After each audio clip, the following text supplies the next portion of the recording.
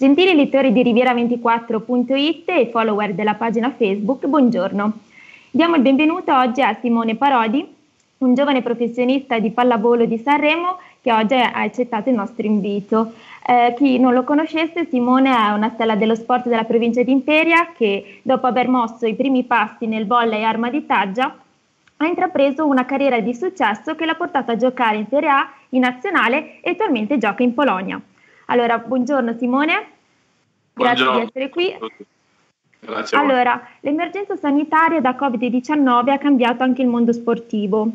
Tu eri in Polonia quando l'emergenza è iniziata, stavi giocando, come è successo? Eh, la situazione lì come era percepita? Hai finito di giocare la partita, il campionato? Eh, raccontaci un po' come in Polonia era la situazione percepita.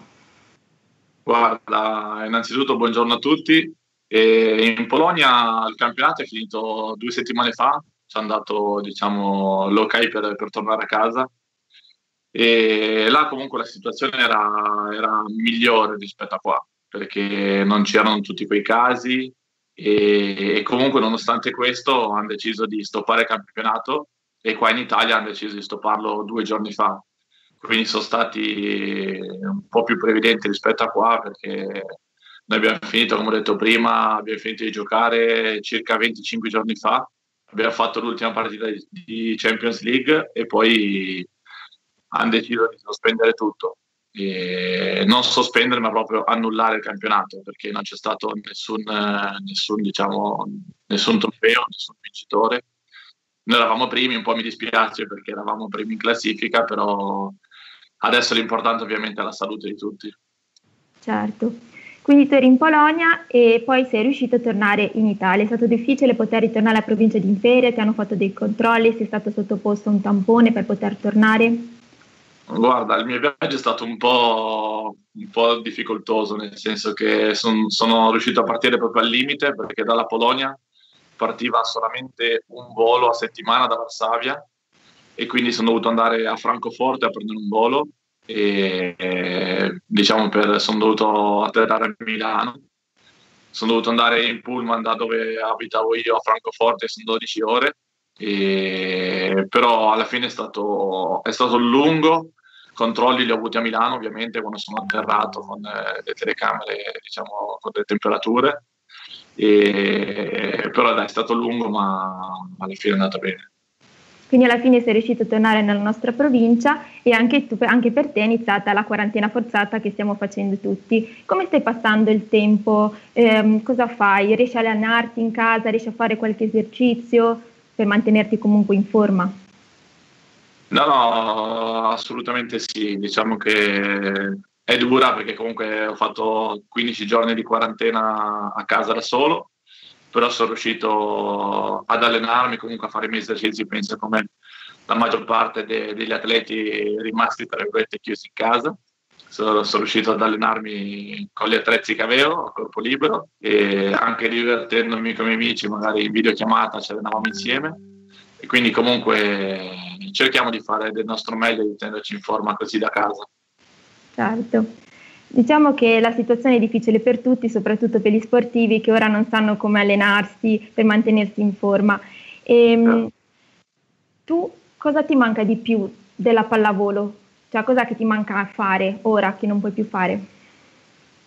Ma guarda, eh, adesso era da settembre che eravamo sempre in palestra, quindi diciamo che due settimane di stop eh, ci stanno, non è che non mi manca più di tanto adesso, okay. però è la nostra vita, quindi tra qualche, penso che tra qualche settimana, ovviamente come tutti gli sportivi, ci mancherà perché, perché facciamo quello da sempre ed è normale che, che un po' manchi, però due settimane di pausa adesso possono stare, ma ovviamente fino a settembre, dato che è saltato tutto, sia le Olimpiadi che ovviamente il campionato che doveva finire a maggio, sarà questo sicuramente.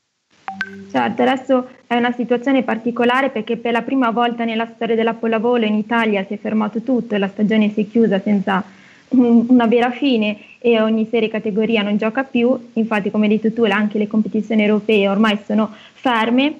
Tu come hai vissuto questa decisione? Secondo te questa cosa influenzerà anche il modo di fare pallavolo in futuro quando l'emergenza finirà? Cioè si giocherà solamente a porte chiuse, si prenderanno altri provvedimenti o tutto tornerà più o meno come era prima secondo te? Una tua opinione? Ma no, guarda, secondo me è stata una decisione lunga però giustissima, perché comunque come hanno fatto in Polonia che hanno preso una decisione, diciamo, prima rispetto ad altri campionati era la decisione corretta da prendere, perché comunque, come ho detto prima, eh, la salute è prima di tutto e non si può giocare, rischiare diciamo, la vita dei ragazzi, degli atleti, del pubblico, della gente che ci viene a vedere. E quindi penso sia stata la decisione più, più corretta.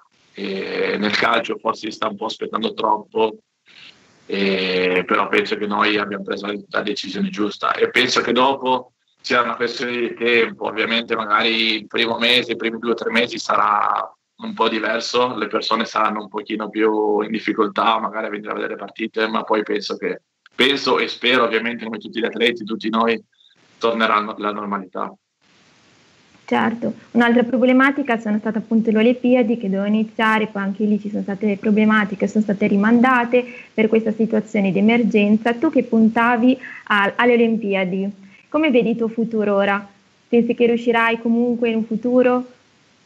Eh, diciamo che la mia età non mi aiuta dal punto di vista anagrafico, diciamo, quindi forse era, era mia l'ultima possibilità perché comunque in Polonia stavo giocando bene e se saranno l'anno prossimo vorrà dire che dovrò fare ancora di più, dovrò tenermi ancora più in forma, stare ancora più attento a tante cose e, e ovviamente ci proverò, poi vedremo cosa succederà. Però penso che la, la decisione di, di, posticiparle sia stata, sia stata giustissima. Quali sono gli altri tuoi obiettivi ora per te personali, diciamo, nell'ambito dello sport? Ti sei posto degli altri obiettivi oltre alle Olimpiadi? Ma l'obiettivo è sempre quello, dato che io ho avuto un pochino di problemi fisici durante la mia carriera, soprattutto ultimamente, è quello di, star, di cercare di stare il meglio possibile dal punto di vista fisico e poi poter giocare sempre in buone squadre finché riuscirò e poi, come hai detto tu, l'anno prossimo vedere se riesco a tornare in nazionale. Ora sei qui in Italia e ti hanno già detto più o meno quando potrai tornare in Polonia o aspetti proprio la fine dell'emergenza sanitaria per poter tornare a giocare?